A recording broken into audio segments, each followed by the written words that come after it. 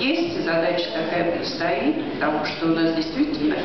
нет архивов, нет